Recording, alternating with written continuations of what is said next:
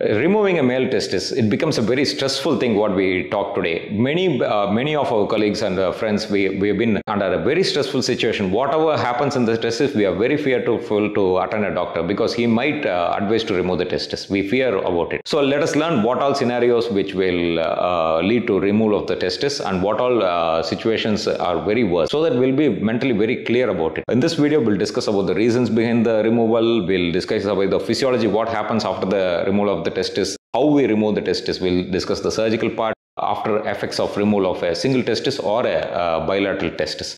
It is a very surprise thing which has been uh, awaiting for you throughout this video. The important uh, anatomy of the testis. What exactly happens during the childbirth? The testis is, a, as we all know, it is an intra-abdominal organ as well as the baby is inside the abdomen. So after the during the pregnancy itself, the testis starts moving towards the scrotum Along with it, it will seek always its blood supply from uh, the abdominal uh, organs, the veins, arteries, and the nerves. And along with it, the most important structure, the spermatic cord, which uh, transmits the sperm cells, that is the vas deferens, everything comes along with it and then it stays inside the scrotum. So, the exact mechanism for staying inside the scrotum is God has created it outside because the temperature uh, compared to the intra-abdominal organ will be always low so that a lot of good sperms will be synthesized. So, doctor, how the testis exactly is being removed?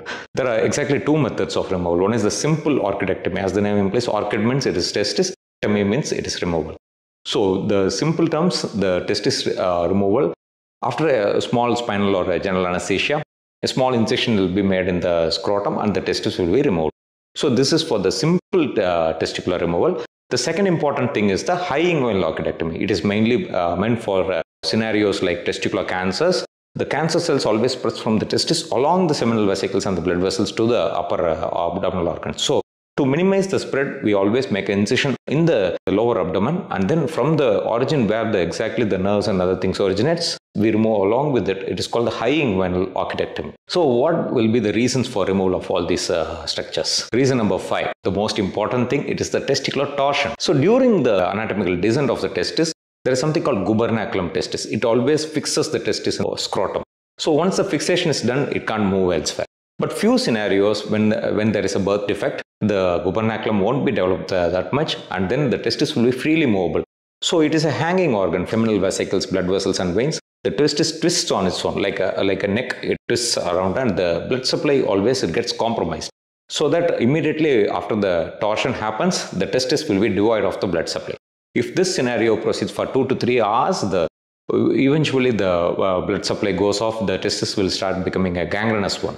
So in that process, we will be able to uh, lose the testis in the same scenario.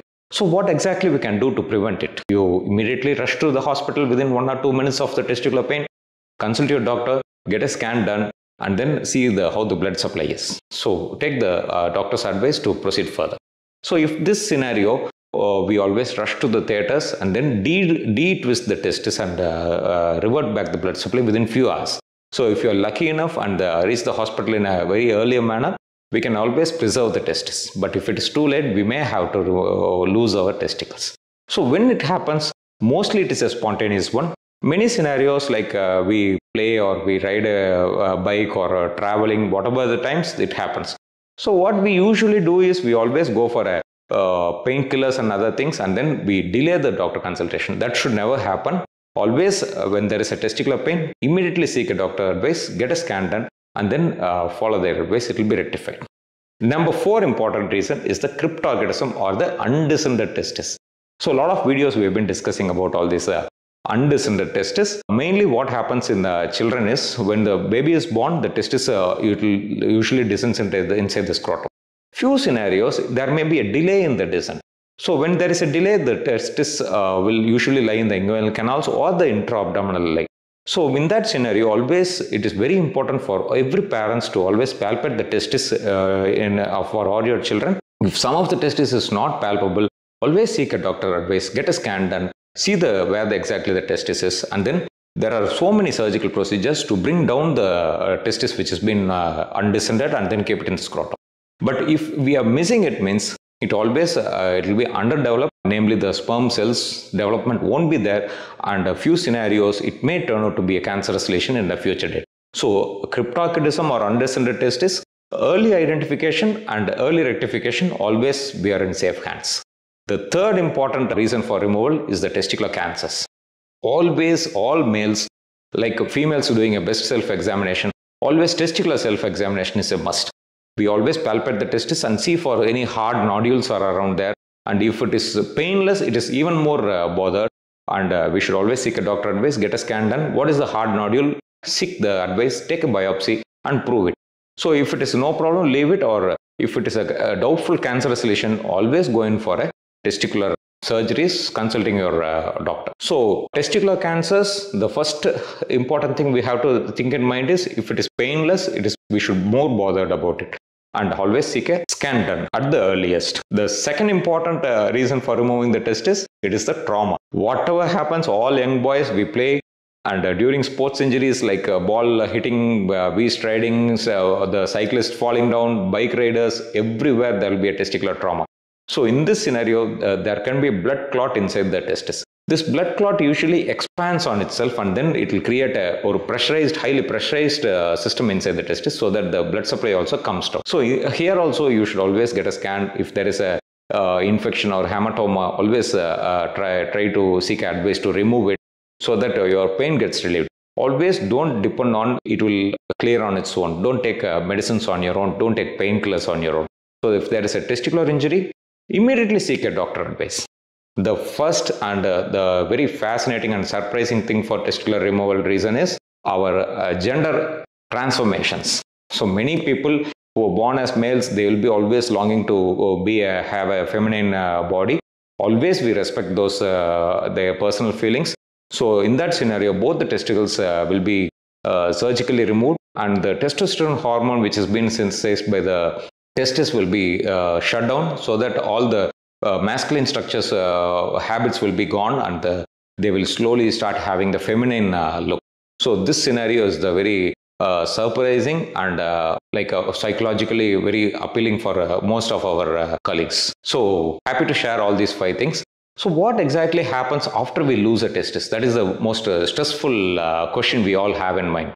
So losing a single testis two things can happen. Our testosterone of that testis will be low and the sperm cells of that testis will be low. And lucky thing, we always have a two testis. So the opposite testis does all the job, synthesizing a good amount of testosterone and synthesizing a good amount of sperm cells to have a very active sexual life and a, a very successful parenthood as well. So don't worry about uh, losing a testis. And, uh, and one more happy news is we have a lot of uh, silicone implants which exactly mimics uh, the same scenario of a normal test testis. The size, texture and the consistency, everything will be matching the opposite uh, side. So that during removal, we can always request our uh, surgeon to have a testicular implant uh, placed and then we can have a so psychologically very happy life so that nobody can uh, identify whether it is a normal testis or the implanted one. It will be looking like a normal one and of course the psychological, the social stigma also it won't be affected. So always keep in mind during testicular removal, have a testicular implant done. And uh, the very final fascinating thing which we are going to discuss about what if we are going to lose both the testes. We always bother about having a children and our uh, progeny. There comes the importance of the cryopreservation.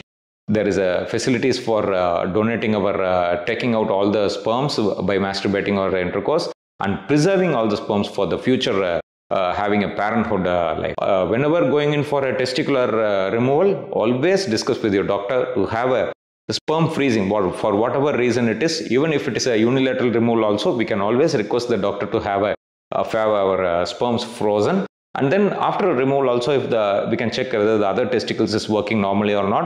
And at the later date, we can go for the destroying of the cryopreserve. So always take an option of cryopreservation before the uh, testicular removal. I'm very happy to share all this fascinating information about the testicular removal. Uh, meet you once again in a very wonderful video again. Thank you.